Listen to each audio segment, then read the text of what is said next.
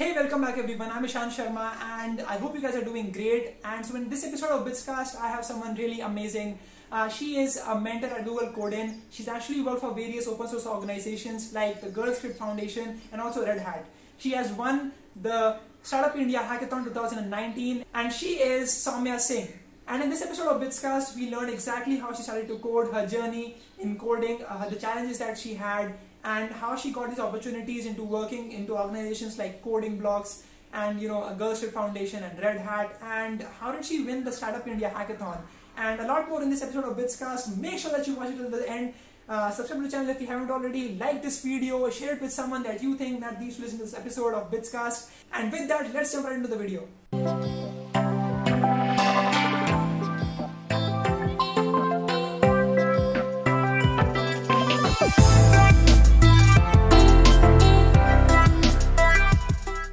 Hello, Saumya. Thank you so much for joining me here for this podcast episode on Bitscast. How are you doing there?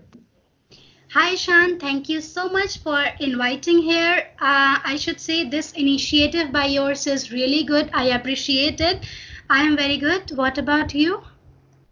Yeah, I'm just doing fine here uh, because of the lockdown. I'm, I'm uh, away from my college, sitting here at my home. So, yeah, I mean, I feel uh, a little sad about that, but you know, what can we do about it? I hope this ends soon. Yeah. All right, now let's uh, actually talk about your uh, developer journey and how it has been like. Because I'm really curious to know what your journey has been like. So tell me a little about that. Okay, so my journey as a developer it started back uh, from my school days. Uh, since I was a non-medical student, so uh, C++, C, those languages were compulsory. They were mandatory there. So I started learning coding, programming since my school days, and the teachers who taught me those languages they were really very experienced. So um, they make all the basics, the, the OOP concepts, everything clear. So I do not feel any difficulty uh, I, in learning those languages. Uh, so yeah, that has started from my school days itself. Okay, and uh, and then you continued it in your college years as well. Yeah, after that, uh, I since I uh, used to score good in uh, Uh, those uh, languages like i uh, scored quite good in c++ in my board exam. That uh, gave me some confidence that uh, okay this domain is good for me. I can uh, go ahead with this. And so i decided to choose engineering as my career. And yes that's how i entered into btech yeah. All right great. And and how did you learn to code? What resources did you use after coming to college Okay, after coming to college, uh, obviously I should say uh, internet is a boon nowadays. Uh, everything is available over there on internet. But the actual break uh, I got, the, I I got to know about the programming world uh, from coding blocks. I joined it in my uh, second year and uh, i should say that was quite late. I should have joined uh, from first year itself. Uh, but yes i joined in second year. And i'm really thankful to my mentor harshad Dwivedi sir. He was an android developer at that time in coding blocks. I joined that course and that really helped me a lot. Uh, that time i uh, realized that why people say that technology can really uh, bring a change in the society when we started working on some real world uh, projects that and then i understand that okay we can do this much from those languages those simple languages that we learn yeah. in school days. Yeah. Mm-hmm. all right. That's amazing to know. And uh, how did you become the gci mentor the google code mentor yeah, the story behind that is quite interesting. Actually, I was a Google Code-in mentor for uh, two organizations, Mifos organization as well as uh, the Anita Borg organization, which is one of my most favorite because of its uh, vision and mission. Uh, I do not know that much about other organizations, how, he, how they handpick the mentors. But talking about the Anita Borg organization, they have a very organized, or I should say, very uh, strict uh, way of handpicking the mentors. Uh, like uh, there is the application process and there are the interview uh, process if I talk about my journey uh, with Anita Borg organization, uh, I have written a I have written a complete blog on that because that was a, a long story.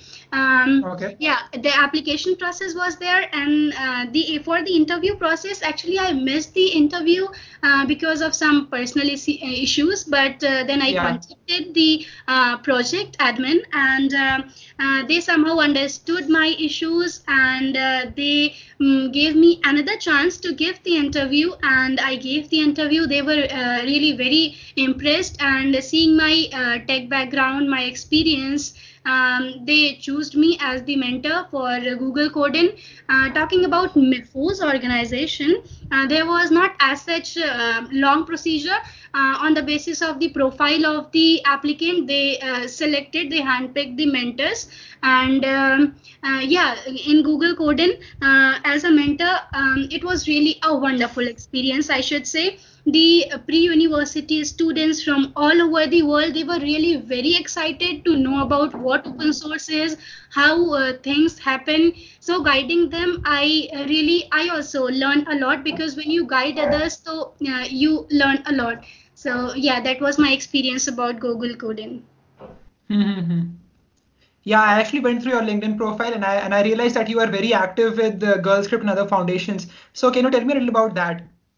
Uh, okay, so about Girl Script, I was introduced to Girl Script through their open source initiative, the initiative that is uh, the Girl Script Summer of Code. It is really a very uh, good initiative by Girl Script. It is uh, a three month long open source program where uh, the beginners uh, are taught how they can contribute to open source they get they are like uh, introduced to uh, various tools like git github and uh, a lot of projects are there which they can work upon. Uh, so i okay. get into uh, girl script foundation from that initiative of theirs. And because of my impressive work i was selected for the girl script india contributors meet also. That that i can say as a girl script scholars meet uh, because everything was provided by them. They handpicked uh, 50 uh, people from all over India for this meet, and um, uh, a lot of uh, new things we did for those two days we spent at Nagpur. it was really okay. a good learning experience. Yeah. Yeah. Amazing. And and what about the open source academic award that you got from Red Hat? What was that experience like? Okay, so recently um, I got to know that I'm one of the finalists for the Open uh, Women in Open Source Academic Award by Red Hat. Uh, so uh, because of my active contribution to various open source projects and because I am uh, associated with various open source communities and I keep contributing to those communities, I um, got this uh, honor from Red Hat and I really appreciate that because um, I used to like from the second year itself I used to keep contributing to various open source projects uh, just for fun because if we want to learn some new technology or if we uh, want to build, build connections internationally or work on some uh, good projects that are used worldwide, then I yeah. think open source is the best thing. So uh, I was yeah i was into uh, open source from my second year itself. Uh, i never thought of i could get uh, such an honor for uh, this interest of mine. I was very happy when i heard that i have been selected as um, selected as one of the uh, top four finalists for this honor. So it was really uh, good to hear that i was one of the finalists yes. Mm-hmm that is amazing to know. Uh, and also, tell me a little about what was your experience at the Smart India Hackathon, and you actually won it, right? So, what yeah. the, what was the project there? Okay, so um, let me tell you, um, I love taking part in hackathons. Uh, I feel they are the best place where you can explore your capabilities. When you have to build a project, when you have to build a real world product in just 24 hours or 36 hours, so uh, you really uh, learn a lot and you put all your efforts into it. So, uh, talking specifically about Smart India Hackathon, that was my uh, first hackathon experience. I should say that time I was not that much experienced, uh, but yes uh, we uh, the project there was about uh, building an Android application for uh, providing digital solutions to the ESIC or uh, the government hospitals uh, specifically, I should say. So we were a team of mm, six, and we built a solution for uh, solving various problems of ESIC hospital, uh, like uh, providing them the emergency facilities or connecting connecting them directly to the doctors, and a lot was there. So yeah, that was the uh, mm, project that we worked upon in Smart India Hackathon, and it was very much appreciated by all the judges and the uh, managing managing director over there, and we uh, won that. So I feel really very good. And uh, apart from that, uh, Smart India Hackathon, I I keep uh, taking part in various other hackathons. Also, uh, one of the closest uh, project, one of the project that is closest to my heart is the one that I built in Delhi Police Hackathon. that yeah. project, yeah, yeah, that project was really very much appreciated by the Commissioner of Delhi as well. so yes. Mm-hmm. Yeah amazing. And and what would be the parameters that the jury judges you on uh, when you actually make the project? Uh, okay, so um, having a good experience as a participant in uh, various hackathons, uh, the parameters are uh, the most important thing is the tech stack. I should say when you um, think of building a product uh, like you are pro, uh, you are provided with some problem statements and uh, you try to find some solution to that so while thinking about the solution always make sure that you uh, plan to choose some uh, new tech stacks like uh, if specifically I talk about Android development, then nowadays Flutter is preferred much more than native because it is cross-platform. So exactly. always, yeah. Mm-hmm uh, so always go ahead for uh, the latest technology that will uh, that will be uh, given preference over those participants who who would be working on uh, the older tech stacks and the second thing uh, I should say is um, your way of presenting your idea because your presentation skill should be very good. You should uh, be able to explain what solution you are building, how your solution can impact the society in a good way to your judges because um, the way you convey your idea that has a lot of significance. I have I have actually felt that and. Um, mm -hmm uh, yeah these two parameters i feel are very much important when you um, when you take part in hackathon and the judges give a lot of significance to these things. Uh, yeah that's the thing. All right thank you so much for that. And uh, let's actually talk about linkedin. How has linkedin helped you out so far uh, again uh, in your coding journey and you know making connections? How has that been beneficial to you Okay, uh, so I am uh, very much active on LinkedIn, and uh, uh that helped me a lot in building my connections and starting my journey into uh, coding. Because uh, initially, when I joined my college, I remember I was not that much experienced, like everything was new for me.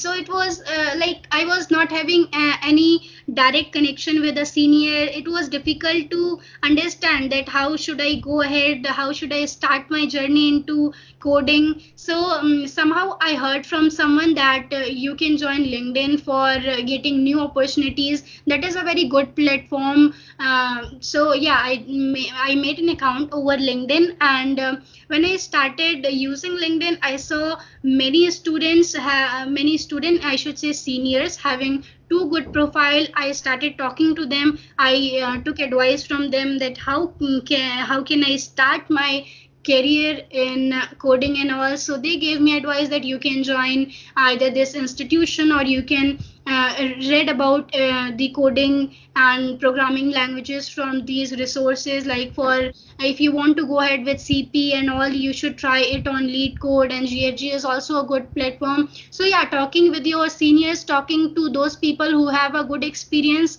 um, that helped me a lot. So yes linkedin helped a lot yeah.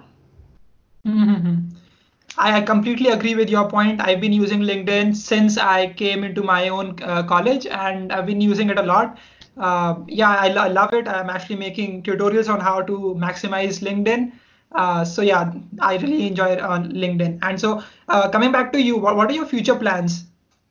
Uh, yeah, my future plans. Uh, uh, I want to get into uh, a top company, a top MNC, uh, as a software developer, as a software engineer.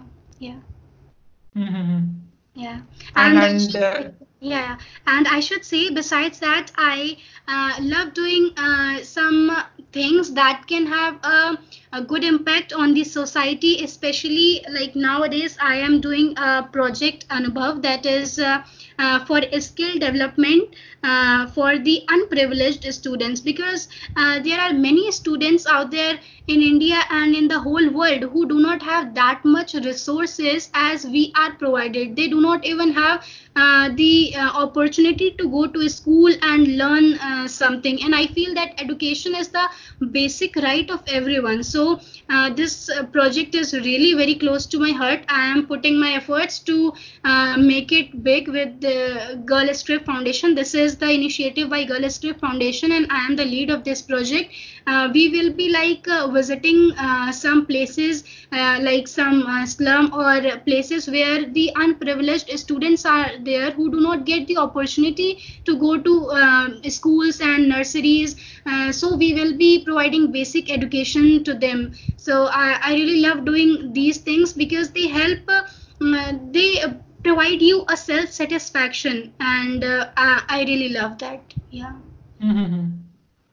That is actually quite an interesting project that you're talking about. I mean, uh, even my college has this uh, club that actually does uh, things like these. They go to the nearby village and they try to teach people, uh, you know, how to, uh, you know, the people that don't have access to schools and colleges. So they try to help them uh, with education. So yeah, that's pretty good. yeah All right, Saumya, thank you so much for joining me here. I have one last question for you. Uh, what are you most excited about in this new decade? Uh, okay, so in this new decade, I am like I am an open source enthusiast and I am an avid tech blogger and uh, a coding enthusiast. So uh, I'm looking forward to uh, make something using my tech knowledge that can uh, have a good impact on the entire society, that can bring some good revolution in the society. Um, yes, I have actually uh, proposed a similar kind of project also uh, with an open source organization. Uh, so yes, using my tech knowledge, I want to do something big for this society. That's uh, um, that's what I'm interested to do in the new decade. Yeah, even I am really passionate about, you know, making a making an impact with my code. Yeah. All right, Saumya, thank you so much for joining me here. I hope the audience will be able to learn something from this talk. Uh, thank you so much, and yeah, bye bye. Thank you so much, Ishan. It was nice talking to you. Bye bye. So that was Saumya Singh. I hope you enjoyed this episode of Bitscast. Uh, if you are still watching till the very end, thanks thanks a lot. You guys mean the world to me. If you can actually go to Apple Podcast and leave a review for this podcast, it would be amazing. Um, and yeah, thanks a lot for watching this video till the very end. Subscribe to the channel if you haven't already. Like this video, guys. And yeah, thanks a lot for watching, and I'll see you in the next one. Bye bye.